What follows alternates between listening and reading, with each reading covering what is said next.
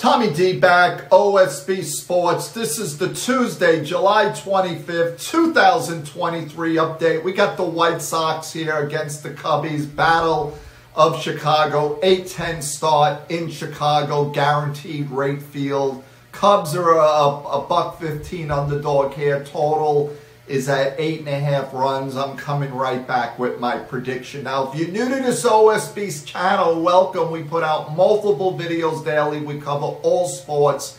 Hit that subscribe button up top as well as the bell button.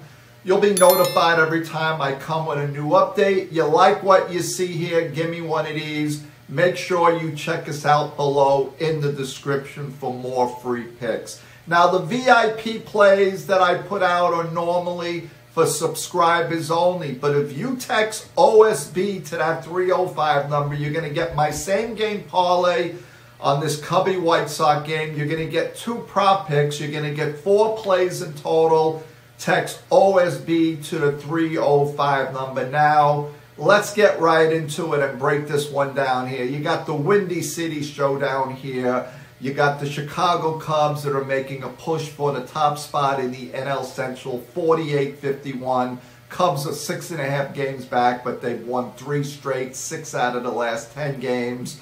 The Cubs are coming off a 3-1 series win over their bitter divisional rivals, the St. Louis Cardinals, and now face their uh, hometown cross rivals in a short two-game series here starting tomorrow just like the Mets are playing the Yankees in New York. The White Sox are fourth in the AL Central with a 41-60 record. They're 12 games back from the leading division. They're not likely to see uh, any postseason play. The White Sox, unlike their Chicago counterparts, are struggling to have uh, lost three straight and going three and three and seven and in the last 10 games. I'm going to break this one down here. The White Sox went 3 and 1 against the Cubs last season, uh, but because of their current form, I like the Cubs here in this one. The Cubs are averaging 6.9 runs per game in their last 10, while the White Sox